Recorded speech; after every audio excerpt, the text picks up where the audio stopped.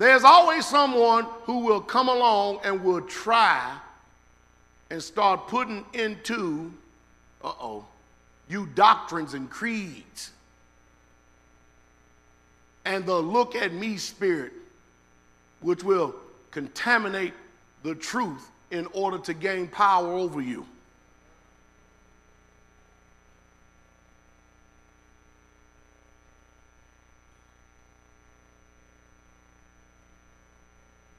Don't y'all do the same thing?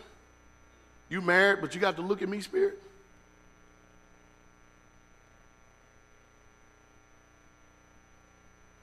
When a slave, a servant doing his job, how much accolades do he get? Hmm? But if you're out of order, you want to be recognized for everything you ever do. Even if it's the first time you've done something. You ain't been doing nothing all this time, but the one time you decide to do something, look at me.